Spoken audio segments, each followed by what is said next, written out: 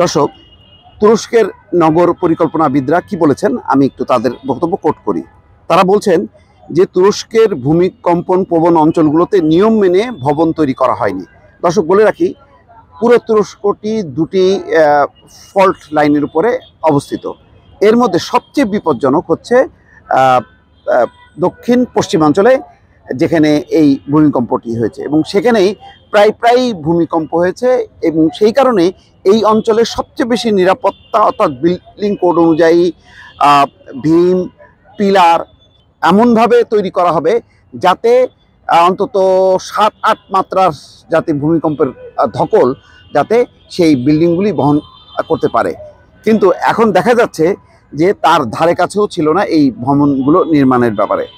এখানে বলা হচ্ছে, যারা নিয়ম না মেনে ভবন করেছিল, তাদের সামান্য কিছু আর্থিক জরিমানা করে ছেড়ে দেওয়া হয়।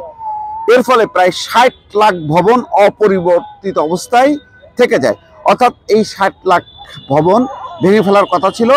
ভেঙে ফেলে সর্বশেষ যেই দুই হাজার আঠারো সালের বিল্ডিং কোড অনুযায়ী স্পাত বা অন্য কংক্রিট দিয়ে যেভাবে নির্মাণ করার কথা ছিল, সেগুলো করা হয়নি।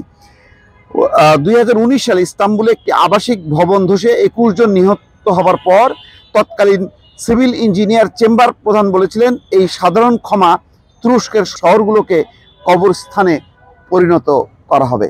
তার মানে দেখেছেন যে দুই হাজার উনিশ সালে একটি ভবন ধসে পড়ে চব্বিশ জন মারা গিয়েছিল। তারপরেও সেই ব্যাপারে কঠোর শাস্তিমূলক ব্যবস্থা নেওয়া হয়নি। এখন এই ঘটনাটি সামনে চলে এসছে। এরদোয়ান যদিও বলছে যে সরকারের কিছু অবহেলা ছিল, কিন্তু তিনি বারবার যেটি বোঝানোর চেষ্টা করছেন যে এটি ভাগ্যের খেলা এখানে মানুষের কোনো হাত নেই।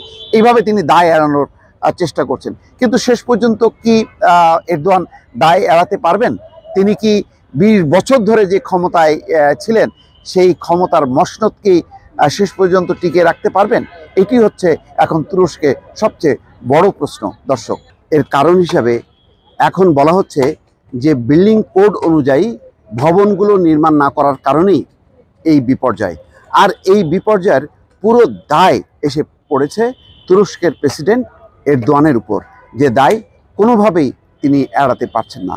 বলা হচ্ছে যে এই ভূমিকম্প প্রতিরোধে সরকারের তহবিলে ছিল পাঁচশো চল্লিশ কোটি ডলার। এই পরিমাণ টাকা কোথায় ব্যয় হয়েছে তার কোনো হিসাব এখনও পর্যন্ত পাওয়া যাচ্ছে না।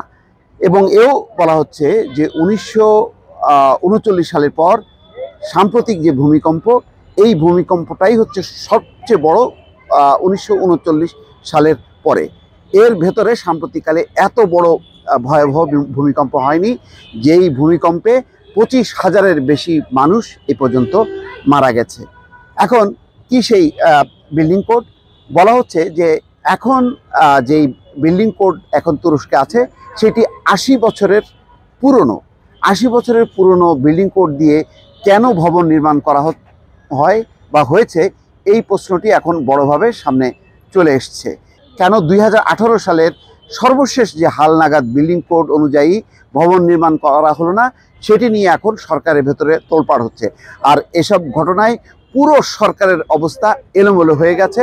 স্থানীয় যত প্রকৌশলী, বিশেষজ্ঞ, সকলেই এখন তুমুল সমালোচনা হচ্ছে এবং দেশে দেশে যারা প্রকৌশল বিদ্যায় পারদর্শী, যারা নকশাবিদ, সবাই এই ঘটনায় এরদোয়ানকে সমালোচনা করছে। বলা যায় যে এই যে বিল্ডিং কোড অনুযায়ী যে ভবন নির্মাণ করা হলো না, তার ফলে যে তুরস্কে এত বড় বিপর্যয়, এই বিপর্যয় কোনোভাবেই এড়াতে পারবেন না এরদোয়ান। এখন দর্শক, এই প্রসঙ্গে বলে রাখি তুরস্কে যদি এই বিতর্ক চলতে থাকে, তাহলে বাংলাদেশ কোন অবস্থায় দাঁড়িয়ে আছে? শুধু দর্শক, আপনারা নিজেরাই বিশ্লেষণ করুন। ভালো থাকবেন, আল্লাহ হাফেজ।